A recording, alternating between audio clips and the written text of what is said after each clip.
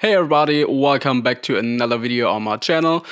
Uh, it's the first tutorial this year and might be the fastest one I've ever done, um, but today we want to change the language in Premiere Pro 2021.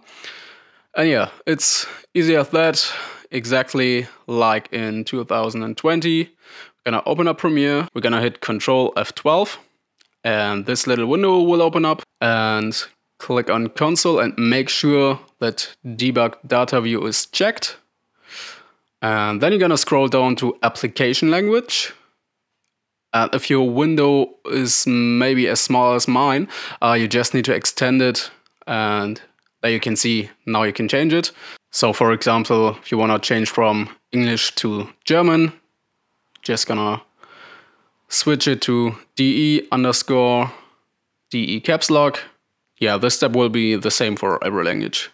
Just click enter, close Premiere, and then open it up again. And there we go. Here you can see directly in the beginning it is changed to German. Alright, easy at that. That was a quick tutorial about how to change the language in Premiere Pro. If you enjoyed the video, please smash that like button, leave me a comment and don't forget to subscribe. See you in the next video. Peace out.